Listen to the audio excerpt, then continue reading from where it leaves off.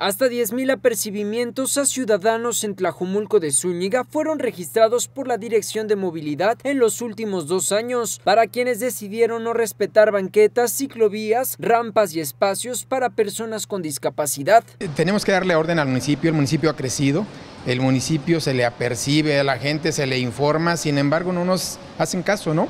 Sí es importante ya contar con un reglamento eh, porque norma varias cosas, entre ello lo vehicular. Eh, es esencial que la gente entienda que no debe estacionarse sobre una línea amarilla. Es importante que los motociclistas no deban ocupar o estacionarse en una plaza pública es importante que no deban estacionarse en un lugar de una persona con capacidad diferente. En un esfuerzo por dar orden a las calles del municipio en zonas como Santa Fe, Chula Vista y Avenida Concepción, la dirección ha dado a conocer un nuevo reglamento de movilidad en donde se contempla además dar nombramiento a las y los agentes de movilidad quienes podrán sancionar a la ciudadanía omisa. Solamente están haciendo algunos ajustes, por ejemplo, decirte que el reglamento habla de agentes de movilidad, son quienes van a sancionar y no tenían ese nombramiento, ya lo tienen, ya se les cambió el nombramiento. Será en los próximos meses que el municipio haga la socialización del reglamento que busca mejorar el entorno de habitantes al sur del área metropolitana de Guadalajara.